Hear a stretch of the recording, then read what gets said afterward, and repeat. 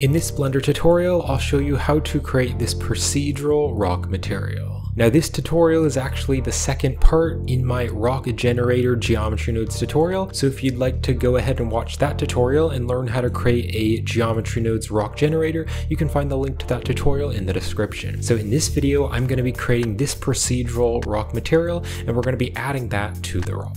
So this material has many customizable values like the overall scale of the material. We also have some different colors for the rock, so color 1 and 2, and right now they're gray colors, but for example, if you wanted it to be more like a brown rock, you could just change these colors and make it kind of like a brown color. And then there's also this edge lightness, and so that's going to be that lightness there on the edges of the rock. So I could maybe make this like a brown color as well. And one thing to note about the edge lightness is that it will not work in the Eevee rendering engine. So if you're using the Eevee rendering engine, you just won't be able to see the edge lightness, so I would recommend using cycles. And then there's also this noise detail to change the detail of that noise. There's also this noise roughness value, and then there is the roughness of the material, so you could make it very shiny if you want the rock to look kind of wet or shiny. And then we have the noise bump scale, so that is just the noise of the actual bump there, which is going into the normal. And then we have the noise bump strength, and then we also have the detailed bump strength to give it some really small detail. And then you can see right over here on this side panel, this is the Geometry Nodes Rock Generator, which I created in the previous tutorial. Again, link is in the description if you'd like to check out that video, but there's some different settings like the random shape and the rock edge size and the edge crease just to change the look of the rock. And if you'd like to help support the channel and purchase the material, or if you'd also like to purchase the Geometry Nodes Rock Generator, then you can find the product links in the description. And if you'd like to purchase all of my procedural materials, then you can definitely check out my Ultimate Blender Procedural Material Pack. And to learn how to create any of my procedural materials, definitely check out my Blender Procedural Material Tutorial playlist. All the links are in the description. Alright, so I've opened up my Rock Generator Geometry Nodes Blender file, and I'm first going to show you a few more things that I've done to the 3D viewport, like the lighting and things like that. So here in the 3D scene, obviously I have my rock generator, and you can learn how to create this rock by watching the tutorial. Now I also added this sunlight here to get some nice lighting, so I added the sunlight and kind of pointed it over in this direction, and I set the strength to 6 of this sunlight. And then also to get some nice realistic lighting and reflections, over here on the world properties, I added in this autumn field 1K HDRI. So this is a free HDRI from polyhaven.com. I'll have the link in the description if you'd like to download download it, and I downloaded the 1K HDR version. And then also I am going to be using the Cycles rendering engine. So over here on the render properties, I'm using Cycles because I am going for realism. And then if you want to make the world background transparent, then you can go right down here to the film tab and you can check mark this transparent button. And that way the world lighting will still light the scene, but it'll just be transparent so it's not quite as distracting. And then also you can open up the color management here and I changed the view transform of Filmic and I made the look very high contrast to pop out the colors and make everything more contrasty and saturated. All right, so I'm in the shading workspace. So I have the 3D viewport right over here and I'm in the rendered mode. And then I have the shader editor right over here. So I'll just click on new to add a new material and I'll just rename this to procedural rock material. And then I'm also going to be using the node wrangler add-on to preview the different nodes. So if you don't have the node wrangler enabled, you can click on edit and go to the preferences. And in the user preferences, if you go over here to add-ons and go to the search, you can search for the node wrangler and just enable the node wrangler. So it's built in a Blender and I'll show you how to use the node wrangler add-on in the video. So I want to start by adding some noise to the material. So I'll go to the add menu and I'm going to search for a noise texture. Let's drop the noise texture here. And with the noise texture selected, I can press Control T and that is going to add the texture coordinate and mapping nodes. And then let's also Control Shift and select the noise texture and that's going to use the node wrangler. So if you Control Shift and select different nodes, that'll preview the nodes on the object. So now we can see the noise texture. Now I want to use the object coordinates because the object coordinates will place the texture on the object more evenly. So let's put the object into the vector the mapping, and then we can change some of the noise texture settings. So I'm going to turn the scale pretty high to like a 55, and I'll turn the detail to the max of 15. And then this roughness here, I'll turn to like a 0.8 because I do want a bit more roughness. Now I want to make this a bit more contrasty, so I'll go to the add menu, and I'm going to search for a color ramp, and we'll put that after the noise texture. So I can now drag the white tab and the black tab together, and you can see if they are closer, everything's going to be more contrasty. So I'll drag the black tab to about there and the white tab to about there, so you can see how that texture is looking. Now I also want to add another noise texture, so let's select the noise texture and the color ramp, and I'm going to bring them down. And then I can press Control Shift D. Control Shift D will duplicate the nodes but keep the wires plugged up. And I can Control Shift and select this color ramp to preview it. And then let's change some of the noise texture settings. So I'll turn the scale to like a 10, and then I'll leave the detail at 15 and the roughness to 0.8, but I'll leave the other settings how they are. Now I do want to change the color ramp, so I'm going to drag the black tab over a bit because I want more of the black values. So I'll drag the black tab to about there and the white tab to about there. So now you can see we have another texture. So we have both of these textures, but I want to mix them together. So I'm going to drag these nodes back, and to mix them together, I can go to the add menu and I can search for a mix color node. And let's just stick this here. So I want this top color ramp to go into color B, and then this bottom color ramp, that color is going to go into A. Now if we drag the factor, that is going to blend between both of them, and I'm going to turn the factor to like 8.7 so that you can kind of see both of them and they're mixed together. So now I want to create the different colors for the actual texture. So I'm going to duplicate the mix with Shift D and I can drop it here after this one. And then this mix result, that can go into the factor and the factor will determine what parts of the material will be color A and what parts will be color B.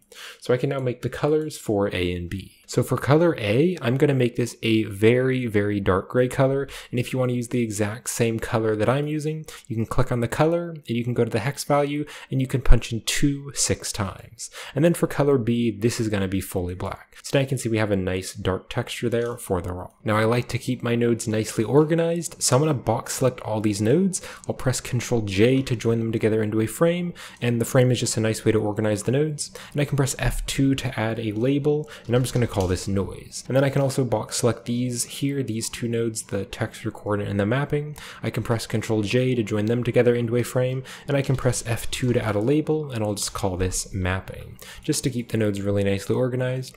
And this here is going to be the base color. Now I also want to create that edge lightness, because I want the edges to kind of be a bit lighter, and it really pops out the rock and makes the rock look better. So to do this, I'll go to the add menu, and I'm going to search for the geometry node. So let's drop this here, and then we can also go to the add menu and we can search for a color ramp to make the geometry more contrasty. So I can control shift and select the color ramp to preview it. And then we can take the pointiness value and we will put this into the color ramp. Now you can see here on the edges, the edges look a little bit lighter. And to see that better, let's drag these values together so they're more contrasty. Now two things to know about the geometry pointiness value is that if you are in the solid view or the material preview, you won't be able to see the pointiness value. And also if you're using Blender Eevee, the pointiness value won't work. So you need to make sure you're in the rendered mode and also make sure you're using Cycles Render to preview the pointiness value. So I'm going to drag the black tab kind of to about here and then the white tab to about there. So the white whiteness or the lightness is mostly just on those edges, but it's okay if there's a little bit kind of on the surface. Now I want to make this look a bit more random and noisy, so I'm going to go to the add menu and I'm going to search for another noise texture. Let's drop this up here, and then I want to use the same object coordinates, so I'll plug the vector the mapping into the vector of the noise texture. And then we can take this color ramp, we can press Shift D to duplicate it to make it more contrasty, and let's plug the factor into the vector of the color ramp, and I can control Shift and select the color ramp to preview it. So we can now change the settings of the noise texture. So the scale, I'm going to turn to like a 9.5. Let's also make it very detailed, so I'll turn the detail to the max of 15. And the roughness, I'll turn to like a 0.63, so there's more roughness. And I'll leave the other settings how they are. So we now have these two textures, and I want to mix them together, and I want to make this noise make the light edges a bit more noisy. So to do that, I'll go to the add menu and I'm going to search for a mix color node so we can mix colors together. Let's drop this here. And I want the top one to actually be going into color B. And then this bottom color ramp, that can go into color A. And I can control shift and select the mix to preview it. Now I'm going to click on the mix here and I'm going to change this to the linear light. So right down here, just choose the linear light. And then I can drag the factor around to blend it together, and I'm going to turn the factor to like a 0.4. Now it's not really looking that great right now, and that is because this noise texture is way too contrasty, so I'm going to drag this out so it's less contrasty, and also I'll drag the white tab a bit, something like that. So now you can see there's just a bit of noise here and there kind of mixed in with those light areas. So I can box select these nodes here, I can join them together into a frame, and I can add a label to the frame, and I can call this edge lightness. So I now want to mix the edge lightness into the base color. So to do that, I'm going to duplicate this mix node, and then I'll control shift and select it to preview it. Now this original mix here, this result is going to go into color A, and I can control shift and select the mix to preview it, and then for the factor, that's going to be the linear light, because the factor is going to determine what parts are going to be A and what parts are going to be B, and so the light and black values are going to determine those colors. So we're going to use this as a mask. So we'll put the result into the factor, and then again, control shift and select the mix to preview it. So now color B, this is going to be the color of the light edges. So I can make this kind of like a light gray. And if you want to use the same light gray color that I'm using for those edges, on color B, the hex value is going to be 595959. Alright, so I can box select these nodes and join them together into a frame, and I can add a label, and I'm going to call these base color, again just to keep the nodes nicely organized, because these two nodes are controlling the base color. So let's drag these nodes back here, and because this is the base color, we can put the result into the base color, and then I can control shift and select the principled shader to preview it. Now I also want to change the roughness, because you can see this rock is way too shiny right now, but I want there to be some difference in the roughness so that some parts are more rough and other parts are more shiny. So we're going to take the noise mix, let's take the result and we can put that into the roughness. But I want to be able to control how rough it is overall because it still looks a bit too shiny. So I'll go to the add menu and we're going to search for a color ramp and let's put the color ramp between the mix and the roughness. So just stick it there. And then I can change some of the settings. So for this color ramp, if the values are lighter, they're going to be more rough. But if they're darker, they're going to be more shiny. So rock is usually pretty rough unless it's wet. So I'm going to make this a very light gray here, here on the color ramp so it is more rough.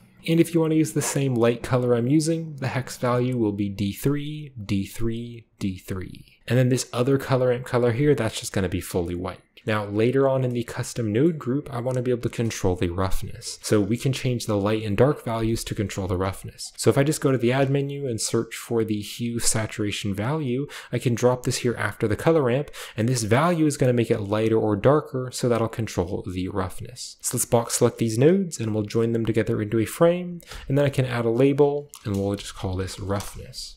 Now if you look closely at the rock, you can see it's kind of smooth and it doesn't look very bumpy, and so I want to add some surface bump. So to do that, I'll go to the add menu and I'm going to search for another noise texture. So let's drop the noise texture here. And then I want to use the same mapping because I want to use the object coordinates. So we'll take the mapping vector and we'll put that into the vector, the noise texture.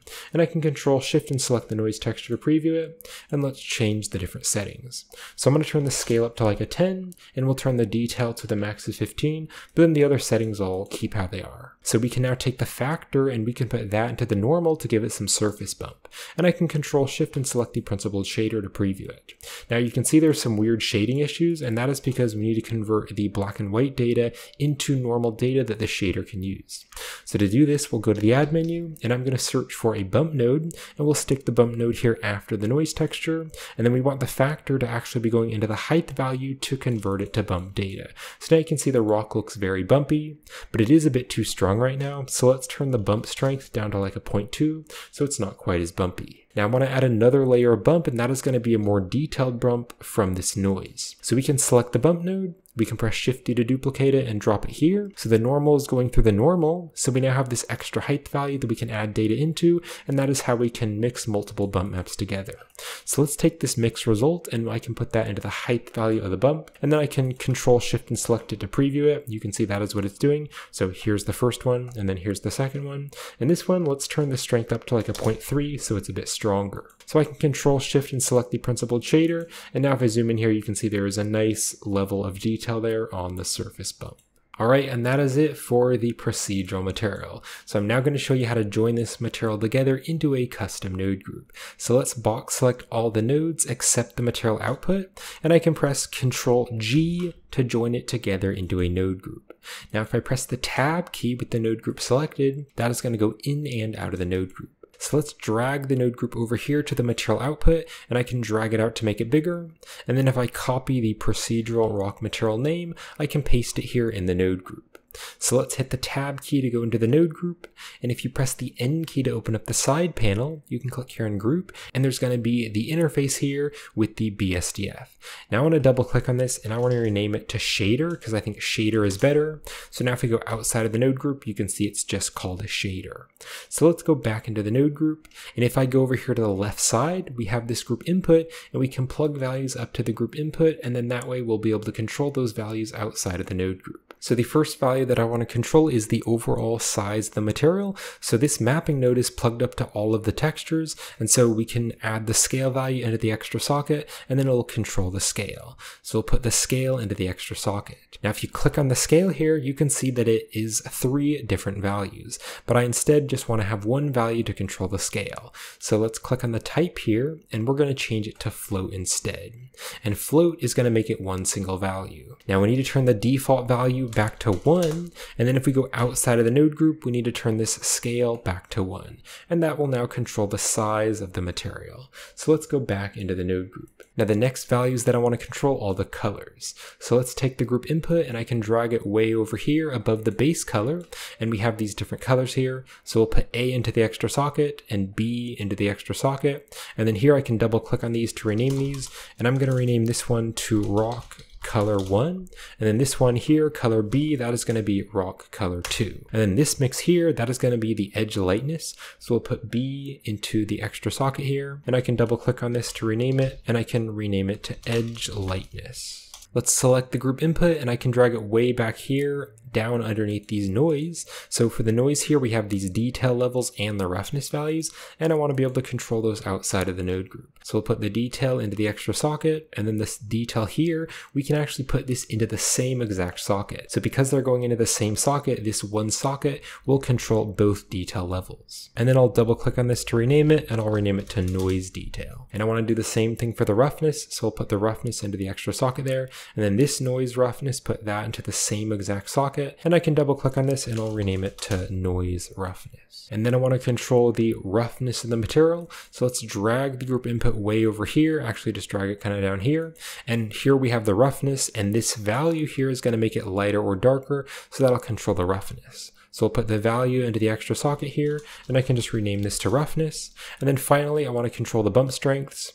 First, I want to box select these nodes and join them together into a frame with Control J, and I can press F2 to add a label, and I'll just call that bump. So we have this strength value here, and that's just like the noise bump strength. So we'll put the strength into the extra socket there, and then I can double click on this, and I'll rename this one to noise bump strength. And then I also want to control the noise bump scale. So that is this scale value here. So let's put the scale into the extra socket. And then this one I can rename to noise bump scale. And then I actually want the noise bump scale to be above this one. So I can just click and drag and then drop it here and that'll put it above it. And then the last one that I want to control is this bump strength here. So we'll put this strength into the extra socket there. And then if I double click on this to rename it, I want to rename it to detailed bump strength. All right, let's select the group input and I can drag it back here.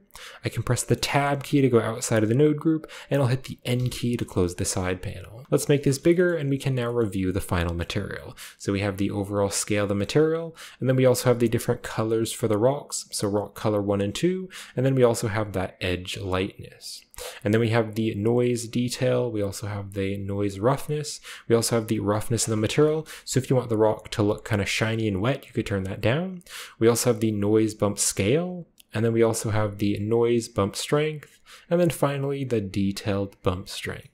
So that's going to wrap it up for this tutorial, so I hope you enjoyed this and thank you for watching. And if you'd like to help support the channel and purchase the procedural rock material, you can get that on my Gumroad store and my Patreon page. And if you'd like to watch the other tutorial and learn how to create this procedural rock generator with geometry nodes, then you can find that tutorial with the link in the description. And you can also purchase the rock generator geometry nodes, link to that will also be in the description. And if you'd like to purchase all of my procedural materials, definitely check out my my Ultimate Blender Procedural Material Pack, and that's a pack which comes with all of my procedural materials. And to learn how to create any of my procedural materials, definitely check out my Blender Procedural Material Tutorial playlist. But I hope you enjoyed this, I hope you found it helpful, and thank you for watching.